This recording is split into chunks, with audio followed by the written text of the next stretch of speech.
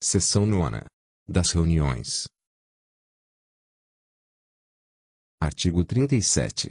A sessão legislativa desenvolve-se de 6 de fevereiro a 25 de junho e de 10 de julho a 26 de dezembro.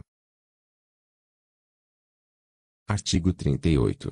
As sessões da Câmara Municipal serão sempre públicas, sendo vedada a realização de reunião secreta. Artigo 39. As sessões somente poderão ser abertas pelo presidente da Câmara, por outro membro da mesa ou pelo vereador mais idoso presente, com o mínimo de um terço dos seus membros. Parágrafo único. Na sessão legislativa extraordinária, a Câmara Municipal deliberará somente sobre a matéria para a qual foi convocada, na forma do regimento. Artigo 40.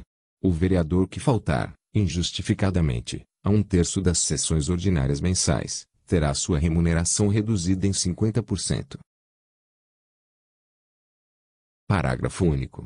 Em caso de reincidência, compete à Câmara Municipal fixar outras penalidades, inclusive cassação de mandato, na forma do que dispuser o regimento interno.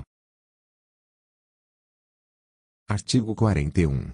A Câmara Municipal admitirá, na forma de seu regimento, Inciso 1. A realização de sessões especiais para debater, com entidades representativas da população, assuntos de interesse da coletividade. Inciso 2. A participação, nas sessões ordinárias, de pessoas ou entidades representativas da população, para reivindicar ou apresentar sugestões sobre assuntos de interesse da comunidade.